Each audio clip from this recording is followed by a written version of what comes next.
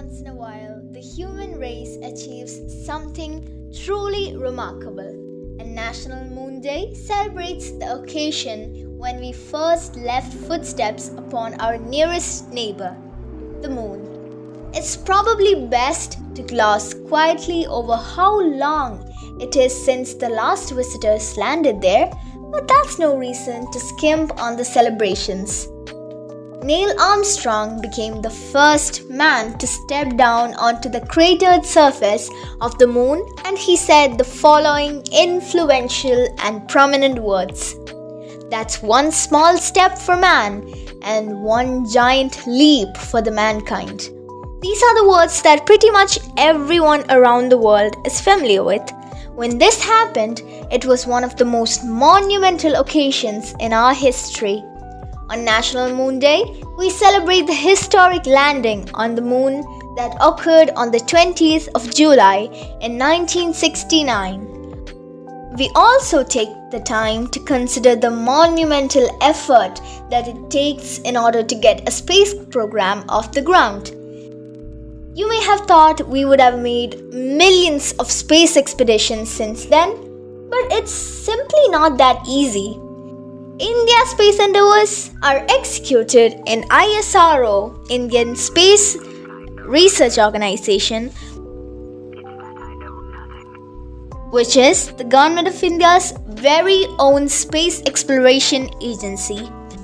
Counted amongst the top six international space organizations of the world, ISRO holds a record of 100 plus successful space missions ISRO has a countrywide network through which its unilateral projects are developed and worked upon to advance the space mission of India.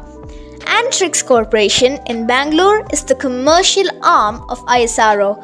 The Space Applications Center in Ahmedabad is responsible for the development of payloads and sensors.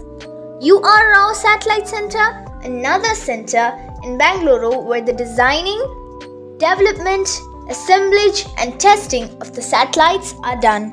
At the Vikram Sarabhai Space Center, the development of launch vehicles undergoes in Thiruvananthapuram. The journey of the past 50 plus had its ups and downs, but India is planning to leave an even more prominent mark on the history of space travels and India's human space missions in the years to come. ISRO's Chandrayaan mission is one such example. Launched in the October of 2008, this is India's first mission to the moon. The launch of Chandrayaan 1 marked the start of India's first ever lunar program. Chandrayaan 2, also known as the India's Orbiter Lander Rover mission, was launched on July 22, 2019 India's second expedition to the moon and the following to the first mission, Chandrayaan 1. In the vast space of our universe, where mythology and science come together so often, Chandrayaan 3 shines brightly as a symbol of India's astral hope and exploration. It shows India's strong determination to uncover the moon's mysteries.